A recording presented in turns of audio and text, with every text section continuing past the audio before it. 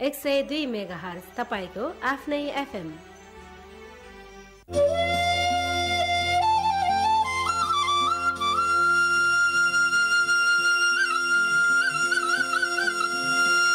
सनातन अमर आत्मा परमात्मा रूपले आनन्द मात्रामा सबै सधैँ रहिरहनलाई आत्मज्ञानको दैनिक प्रवचन कार्यक्रम अखण्ड सुख अखण्ड सुख। अद्वैत प्रदीप बलराम जीसी सरस्वतीको साथमा हरेक दिन दिउँसो एक पैतालिस बजेदेखि।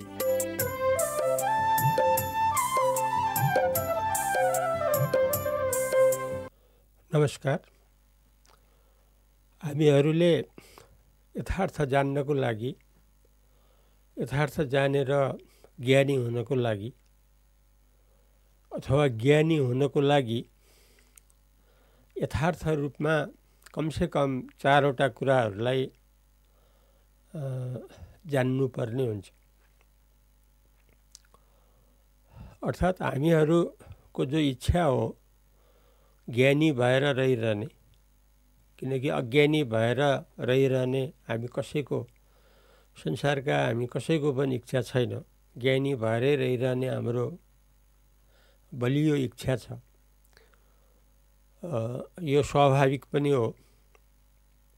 किनकि प्राप्त मनुष्य जीवनलाई हामीले ज्ञानीमा परिणत गरेर सधैँ सुख शान्तिमा परिणत हुनु छ त्यस कारणले यस्तो महान उद्देश्य पुरा गर्नको लागि हामीले कमसेकम पनि चारवटा कुरालाई विशेष ध्यान दिनुपर्ने हुन्छ। यो चारवटा कुरा हो विश्व प्रसिद्ध गीता को दोस्रो अध्यायको पैँतालिस श्लोकको आधारमा। त्यसमा यथार्थ जान्नको लागि ज्ञानी हुनको लागि अथवा परमात्मा परिणति हुनको लागि परमात्माको प्रत्यक्ष दर्शन गरिरहनको लागि अथवा परमात्माको अनुभव गरिरहनको लागि जो वासुदेव श्रीकृष्ण परमात्माले बताउनु भएको छ हामी सबैको लागि। त्यसमा कमसेकम पनि हामीले चारवटा कुरालाई लिनै पर्ने हुन्छ। एउटा पहिलो के छ भने कर्मकाण्ड हो अस्थिर संसारको प्रतिपादक। यसरी भन्नुहुन्छ अर्जुनलाई हे अर्जुन कर्मकाण्ड हो अस्थिर संसारको प्रतिपादक। यसको अर्थ के भने अब संसार त अस्थिर हो स्थिर त होइन। स्थिर त परमात्मा हो। त्यो परमात्मालाई प्रत्यक्ष अनुभव गर्न नसक्दाको परिणामले नै यो संसार भोग्नु परेको हो। दुःख चिन्ता डर भोग्नु परेको हो। जन्म मृत्यु भोग्नु परेको त्यस कारणले सदा स्थिर स्थायी परिपक्व हामीहरूको वास्तव स्वरूप सबैको वास्तव स्वरूप त केवल परमात्मा मात्रै हो। तर हामी त्यसबाट खसेका छौँ।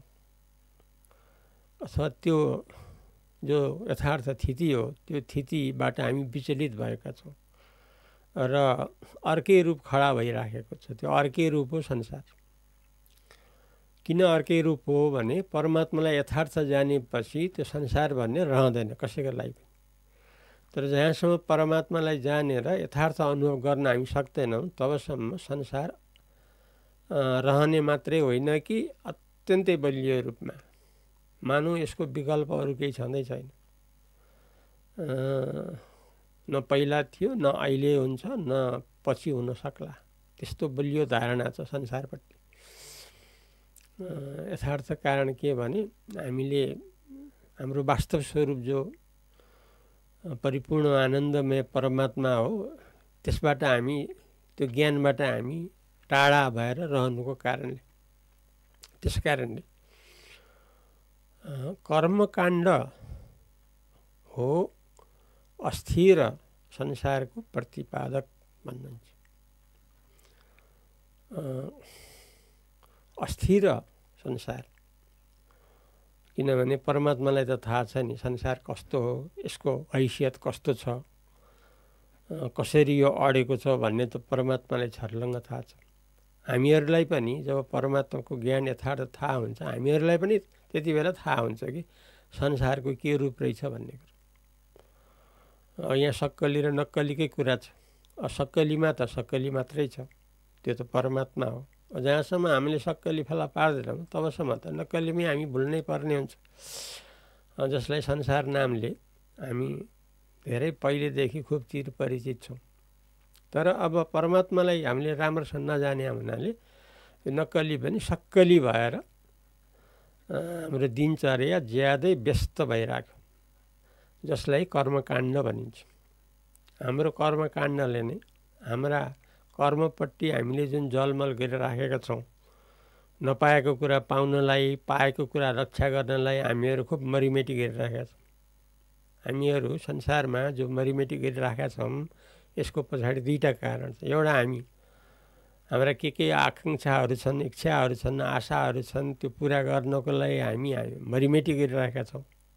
अनि अर्कोतर्फ जो हामीले मरिमेटी गरेर आर्जन गरेका छौँ जोडेका छौँ कमाएका छौँ त्यसको रक्षा गर्नलाई हाम्रो सम्पूर्ण ध्यान केन्द्रित भइरहेको छ र हामी यस कारणले ज्यादै व्यस्त छौँ।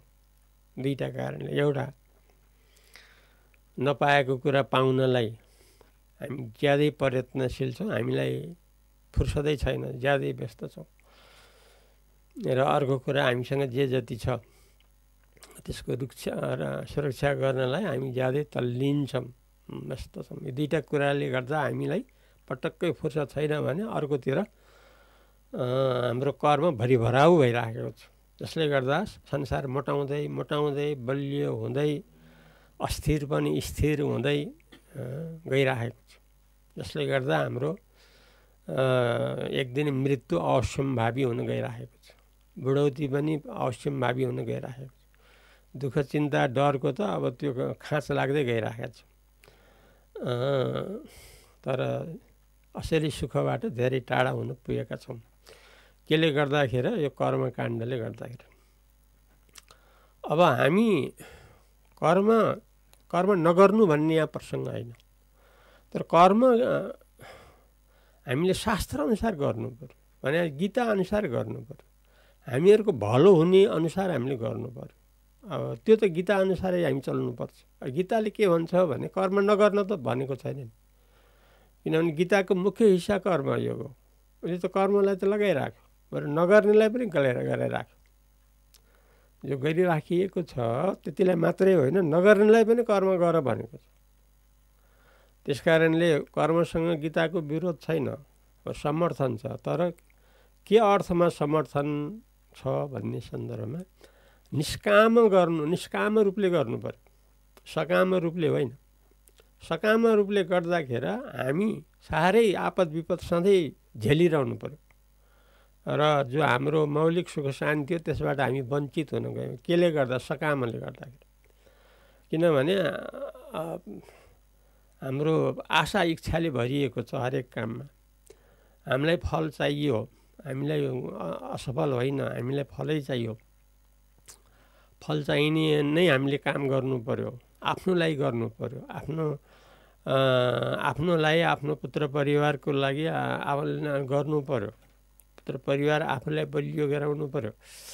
यस्तो उद्देश्यले हामीहरू चाहिँ नि आफ्नोलाई आफ्नो भन्नाले अब त्यो आफ्नो शरीर स्तरमा पनि हुन्छ परिवार स्तरमा पनि हुन्छ सामाजिक स्तरमा पनि हुन्छ वृहत रूपमा पनि हुन्छ तर हुनु पर्यो। अ, यस्तो हामीहरू एकदमै छ केन्द्रित छौँ हामीहरू सकाम छौँ हाम्रो धारणा। त्यसलाई गीताले विरोध गरे हो किनभने यसबाट दोहोरो घाटा छ। एउटा त त्यो आफूले कर्तव्य पो गरिराख्ने हो र तर आशा इच्छा होस् भयो भने खुसी हुँदै जाने भएन भने एकदमै बेखुसी हुँदै जाने त्यसले गर्दा त हाम्रो जीवन त चौपट हुन्छ नि बेकार जान्छ नि। किनभने चिन्तै चिन्तामा बित्यो नि त। खै त सुख शान्ति पाएको? एकातिर कर्म हामी गरिरहेका छौँ अर्कोतिर चिन्ता डर दुःखले हामी चाहिँ ग्रस्त छौँ। त हाम्रो दैनिक कामकाजमा जो डटेर गरेका छौँ त्यसबाट के फाइदा भयो त? त्यस कारणले गीताले हाम्रो फाइदाको लागि भनेको छ। त्यो फाइदा के हो भने निष्काम रूपले आफ्नो कर्तव्य कर्म गरिराखेपछि कर्म पनि राम्रोसँग हुन जान्छ किनकि ईश्वरार्थ ईश्वरमा अर्पणपूर्वक फलको इच्छा नगरिकन कामना नगरिकन यसरी हामीले गरिराखेपछि के हुन्छ भन्दाखेरि आफ्नो कर्तव्य पनि पुरा हुन्छ अर्कोतर्फ हामीले चाहिँ नि फुर्सद पायौँ। किनभने हातखुट्टा कामकाजमा लागिराखेको छ आफ्नो मन भित्रबाट अडिएको छ स्थिर छ त्यो स्थिर मनलाई हामीले सबभन्दा ठुलो कुरो जो परमात्मा हो ईश्वर हो भगवान् हो जो आत्मा हो यसपट्टि हामीलाई लगाइरहन सक्छौँ। त्यसले गर्दा हाम्रो हरेक समय सुख शान्तिको अनुभव भित्रबाट बढ्दै गइरहन्छ भने बाहिरबाट कामकाज पनि झन् राम्रो हुँदै जान्छ। त्यस कारणले यो चाहिँ नि निष्काम रूपले गर्नु पर्यो त्यस कारणले दुई नम्बरमा भन्नुहुन्छ कमसेकम चारमध्ये दुईवटा कुरा हो। निष्काम रूपले गर्नु पर्यो कामना रहित भएर गर्नु पर्यो किनभने आफूले जो खोजिएको छ र आफ्नो जो सुरक्षाको लागि आफ्नो ध्यान दृष्टि गरिरहेको छ त्यो प्रारब्धले गरिराखेको छ नि प्रारब्धले त दुईवटा काम हाम्रो गरिराखेको छ। प्रारब्ध भनेको दैवले। हामीले आज अघि जे काम गरिरहेका थियौँ त्यसको आधारमा जो सर्वेश्वर हो परमेश्वर हो उहाँले त हामीलाई त दुईवटा कुरा त दिइरहनु भएको छ नि त। एउटा चाहिँ नि आफूले जो पाउनु पर्ने हो त्यो पाइरहेको छ। भने आफूसँग जे जस्तो छ त्यो चाहिँ नि स्वतः त्यो परमेश्वरबाट नै सुरक्षा भइराखेको छ। त्यस कारणले हामी जो सकाम रूपले हामी जो संसारमा व्यस्त भइरहेका छौँ यो निष्कामको अर्थ बुझ्नाले त हाम्रो दुईवटा काम त हाम्रो दैवले गरिरहनु भएको रहेछ नि त। परमेश्वरले गरिरहनु भएको रहेछ नि त। अर्थात् हामीले पाउनु पर्ने पनि उहाँले दिइरहनु भएको रहेछ भने हामीसँग जे जति छ त्यसको रक्षा पनि उहाँले गर्नु भएको रहेछ स्वत भनेपछि त हाम्रो सारा ध्यान दृष्टिभित्रबाट त हामीले परमात्मा दिन सक्यौँ नि। त्यसले गर्दा दोहोरो फाइदा भयो हामीलाई। एकातिर संसारको कामकाज पनि जो हिजो अस्ति भइ हुँदै आइरहेको थियो त्योभन्दा झन् अगाडि झन् बढ्दै गइरहेको किनभने हामीलाई नैराश्यता हामीलाई अल्छीपना हामीलाई दिगदारी यस्तो हुनै पाउँदैन निष्काम भावले गर्दाखेरि। त्यसले गर्दा हाम्रो काम झन् राम्रो हुँदै गइरहेको हो भने अर्कोतर्फ हामीले हामीले जे हामीसँग जे जति छ त्यसको रक्षा पनि स्वतः दैवबाट भइराखेको रहेछ। हामीहरूको पूर्व संस्कार छ नि आफ्नो त्यसले स्वतः त्यो रक्षा गरिहाल्छ जसलाई प्रा प्रारब्ध भनिन्छ। त्यसैले प्रारब्धको अधिष्ठान प्रारब्धको मालिक प्रारब्धलाई सञ्चालन गर्ने जो देव परमेश्वर हो दैव परमेश्वर हो उहाँबाट यी दुईवटा कुरा भइराखेको छ। किनभने हामीले निष्काम कर्म त गरिरहेका छौँ नि त। के अनुसार? गीता अनुसार ईश्वरको आज्ञा अनुसार। त्यसैले पहिलो कुरा कर्मकाण्ड हो अस्थिर संसारको प्रतिपादक। यसलाई हामीले बुझ्नु पर्यो र संसार वास्तवमा अस्थिर हो भन्ने कुरा बुझ्नु पर्यो। दोस्रो कुरा चाहिँ नि कामना रहित हामीले कर्महरू गरिरहनु पर्यो। यसबाट हामीले पाउनु पर्ने अ, जति हदसम्मको त्यो पनि प्राप्त गर्न सक्छौँ र हामीसँग जे जति छ त्यसको सुरक्षा पनि स्वतः दैवबाट हुन जान्छ। र तेस्रो कुरा के हो भन्दाखेरि सुख दुःख पाउँदाखेरि हामी सधैँ समान रूपमा रहन सक्नु पर्यो। किनभने सुख दुःख जो प्राप्त हुन्छ त्यो प्रारब्ध अनुसार पाएको हो आफ्नै अनुसार पाएको आफ्नै अनुसार जो पाइएको हुन्छ त्यसमा विचलित हुने कुरा त भएन नि। त्यसैले सुख दुःखमा द्वन्द्वमा भन्नाले जस्तो गर्मी ठन्डी आउँछ हामी समान हुन रख अ, समान रूपले रहन सक्नु पऱ्यो शत्रु मित्रु भन्ने भाव हामीलाई यदि छ भने त्यसमा पनि समान भाव हुनु पऱ्यो दुवै हाम्रो लागि बराबर हो यस्तो हुनु पऱ्यो त्यो त परमात्माको दृष्टिले हामीले गर्नु पऱ्यो नि। अनि अर्को चाहिने मान पाइएला या अपमान पाइएला त्यसमा पनि हामी समान हुनु पऱ्यो यसरी चाहिँ समान हुनु पऱ्यो आफू चाहिँ र चौथो कुरा हो हाम्रो सात्विक धारणा हुनु पऱ्यो सात्विकी हाम्रो आचरण हुनु पऱ्यो बोली वचन व्यवहार खाइपाइ खानु लाउनु आदि सारा कुरा हाम्रो सात्विक हुनु पऱ्यो भनेको ईश्वरीय हुनु पऱ्यो हाम्रो धारणा। यसरी ईश्वरीय भएपछि के हुन्छ भने र प्रारब्ध हाम्रै आफ्नै फल हो भनेपछि हाम्रो मन स्थिर हुन्छ विचलित हुँदैन।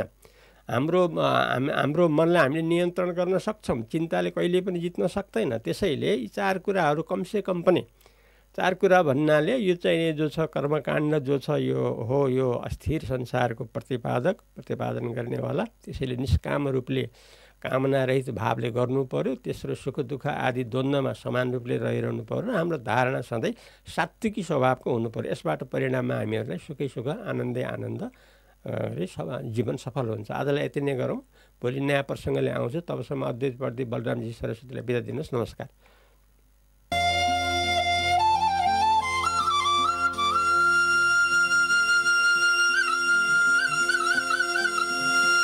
सनातन अमर आत्मा परमात्मा रूपले आनन्द मात्रामा सबै सधैँ रहिरहनलाई आत्मज्ञानको दैनिक प्रवचन कार्यक्रम अखण्ड सुख अखण्ड सुख। अद्वैत प्रदीप बलराम जीसी सरस्वतीको साथमा हरेक दिन दिउँसो एक पैँतालिस बजेदेखि।